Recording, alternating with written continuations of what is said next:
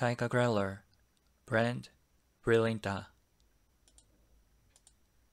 Ticagrelor is famous antiplatelet drug used for stroke prevention, heart attack, acute coronary syndrome, and myocardial infarction.